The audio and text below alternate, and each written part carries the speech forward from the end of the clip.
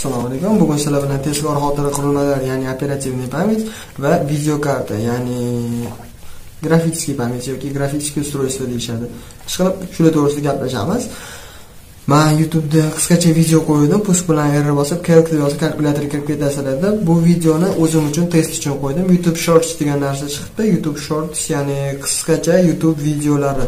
Uni formati shu 9 ga 16, то есть 16 ga 9 telefonlarni ekrani razmerida YouTube TikTokka qanaqadir miqdorda pretendent bo'lish uchun o'zi shunaqa pastda ko'rgan bo'lsanglar videolaringlarni listasi qilsanglar chiqadi.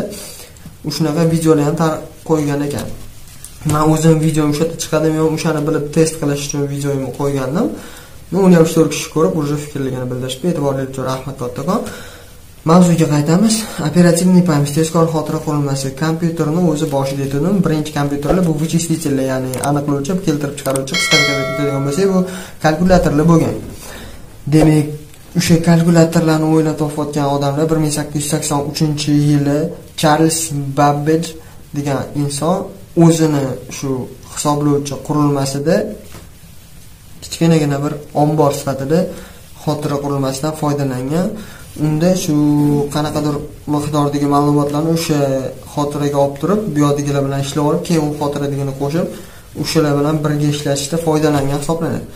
Foydalangan. To'g'riroq aytadigan bo'lsam demak bizani operativniy запоминающий устройствоmiz ya'ni tezkor eslab qoluvchi xotira qurilmamiz. Vazifasi xuddi shunaqa. O'sha biz eshitadigan ma'lumotlarni обработка qilishda yordam beradigan xotira qurilmasi hisoblanadi. Va bu xotira qurilmasidan kelib chiqib biz ishlaydigan programmalar ma'lum bir tezlikdan pastroq ishlashi mumkin. Ya'ni bizani tezkor xotira qurilmamiz ular beradigan minimal требование minimal talabga to'g'ri kelmasligi mumkin.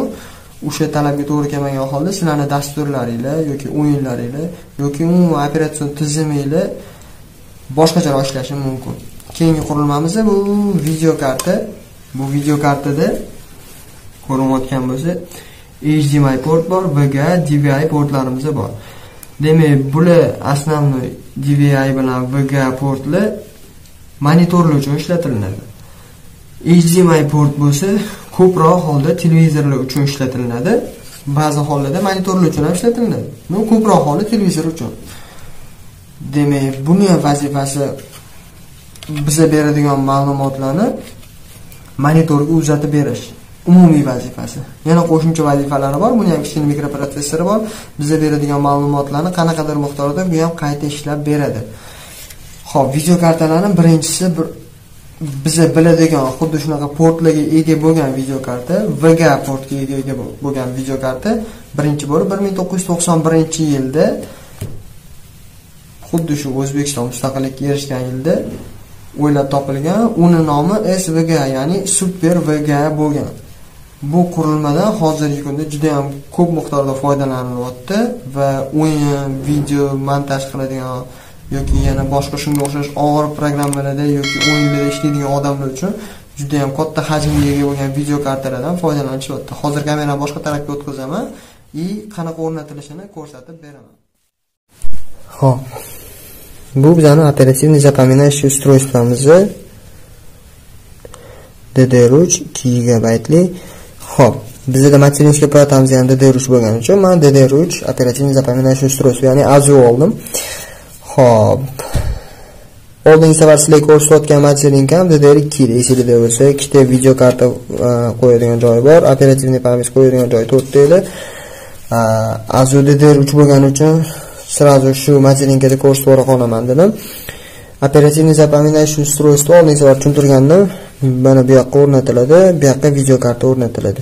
Operativkani iloji boricha birinchi qo'yishga harakat qilinglar chunki zaglушкасini ochganda mana bu yerda video kartani tushadigan joyi bor. Hozir mana yaqinroq olib ko'rishga harakat qilib ko'raman.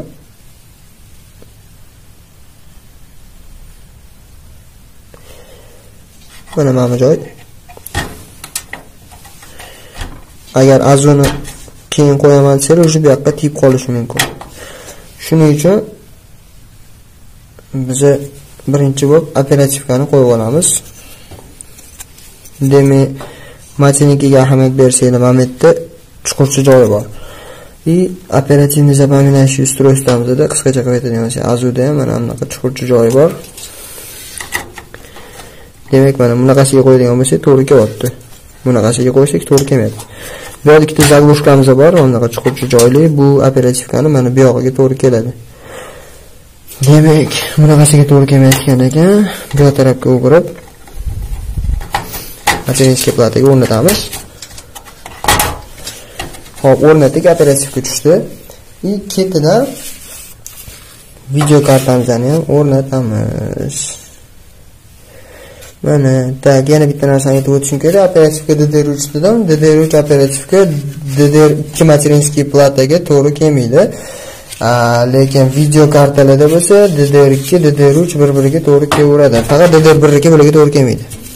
Demak buni ham ko'rsatib o'tishim kerak mana zubchiklarimizda mana bu yoqda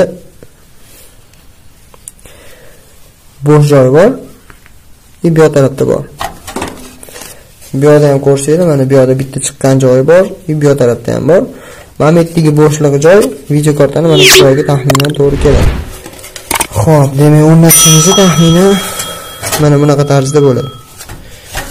И yana bitta narsa umuman bu sohada birinchi bo'lgan odamlar bo'ladigan bo'lsa mana bu portlarimiz shunda bu tarafga qarab turishi kerak.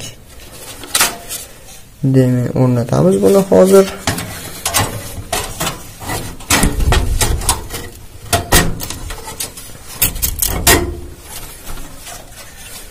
Va shunda mana boyagi sizlarga aytib o'tgan joyim. Mana buni ochsanglar уже bir biriga xalaqit berib qolishi mumkin. Shunga ham qarashinglar kerak deb hisobladim. И keyin yana bitta narsa ko'rsatishim kerak sizlarga. Bu o'sha video kartani o'rnatib bo'lganinglardan keyin mana bu yog'iga bolt qotiriladi hozir buni ham ko'rsatib beraman Xo'p, taxminan mana bunaqa bolt va bu mana shu joyga o'rnatiladi.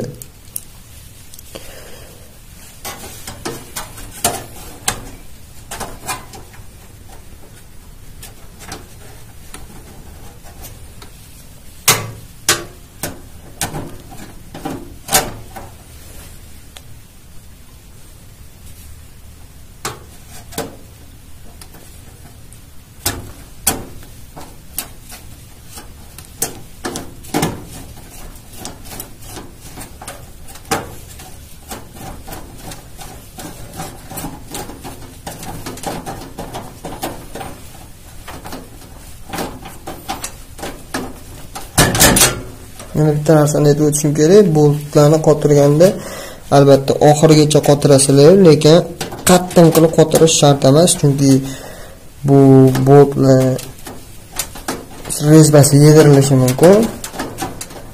O'shaning uchun mana o'shada to'xtadi bo'ldi. Bu yog'iga ortiqcha qotirib o'tirmayman. Buni vazifasi nima? Mana bu narsani qimirlayotganda bu yoqdagi portlardagi mana bu portlardagi qimirlashlarni yo'qotish. Shodladiki demak bugungi asosiy vazifamiz tayyor. Materinskiy plataga video karta bilan operativniy pamyatchi uladik. Demak videomizni sizlarga yoqdi degan umiddaman. Yoqqan bo'lsa layk bosib подписаться qilib kommentariyga o'z fikringlarni bildiringlar. Tushunarsiz bo'layotgan joylari bo'lsa aytsanglar yana qo'shimcha tushuntirib beraman. Oldingi videoda blok pitaniya to'g'risida qo'shimcha ma'lumotlar kam bo'lib qolibdi dedinglar Xo'p, blok pitani to'g'risida blok pitaniyadan chiqadigan simlarimiz основной 3 3,5 va 12 voltli bo'ladi. Vazifasi o'sha aytib o'tganimdek ichki qurilmalarni elektr ta'minoti bilan ta'minlash, ya'ni har bitta sizni qurilmangizni tok bilan ta'minlab beradi. O'zimizdan tilda aytsak, i keyin sakson sertifikat to'g'risida so'ralgan ekan. Blok pitaniyani sakson sertifikati bu blok pitaniyani foydali ish koeffitsiyenti to'g'risida hisoblanadi. 80 sertifikatda bronza silver gold platinum turlari bor. Bu bronza tarjima qiladigan bo'lsak bronza bronza silver kumush gold bu tilla ya'ni oltin va platinum turlari bo'ladi. Основной ishlab chiqarilishda ko'p qo'llaniladigan bu bronza hisoblanadi. Sakson sertifikat bronza. И u yog'i yana qimmatroq blok pitaniyalarda uchrab turadi. Sizlarga qisqacha aytib o'tadigan bo'lsam 80 sertifikat bu blok pitaniyani foydali ish koeffitsiyentini 80% dan balandligini bildiradi. Ya'ni blok pitaniyani 100% mashinada narsani ko'tarib olib keta oladi deb tasavvur qilsangiz demak u narsani taxminan mana mashinchagina kamrog'ini ko'tarishi mumkin. Qisqacha qilib tushuntiradigan bo'lsam. Ya'ni u narsa sertifikat blok pitaniyada ko'rsatilayotgan ma'lumotlar deyarli 100% to'g'ri degan ma'noni anglatadi. Deyarli 100% to'liq 100% emas. Yana bitta qo'shimcha ma'lumot berib o'taman. Yaxshi blok pitaniyalarni mana bunaqa kullari tagida bo'ladi. Ikotda bo'ladi. Ну tagida kullari bo'lgan blok pitaniyalarni hammasi yaxshi demayman. Ну lekin yaxshi blok pitaniyalarni kullari tagida bo'ladi. E'tiboringiz uchun rahmat. Xuddi shunga o'xshagan tushunarsiz joylar yoki kamroq bo'lib qolgan joylar yoki ko'proq bo'lib qolgan joylar bo'lsa kommentariyada yozib o'zinglarni fikringlarni bildiringlar. Bizani kanalda qolinglar keyingi safar kompyuterni shu mana mana bu keysimizda bo'lsa keysimizdagi power knopkasi ya'ni o'chirib yoqadigan knopka reset knopka перезагрузка undan tashqari mana ichidagi lampochkalari и undan keyin ikkita usb vход va naushniklarni и mikrofonlarni ulanadigan joyini materinskiy plataga qanaqa qilib ulanishini ko'rsatib beraman. Deyarli kompyuter yig'ib bo'lishimizga ozgina qoldi. Bundan oldingi chiqqan videoyim bor. O'sha videoyimni tagiga isminglarni yozib tagidan boshqa o'rtoqlaringlarga ulashib ular ketinglardan plyus qo'ydi deb ko'proq plyus yig'sanglar kompyuter yutib olish imkoniyatiga ega bo'lasizlar. Hali vaqtimiz ko'p. Martni oxirigacha xudo xohlasa konkursimizni tugatib ikkita kompyuterni egasiga topshiramiz degan umiddaman. E'tiboringiz uchun rahmat.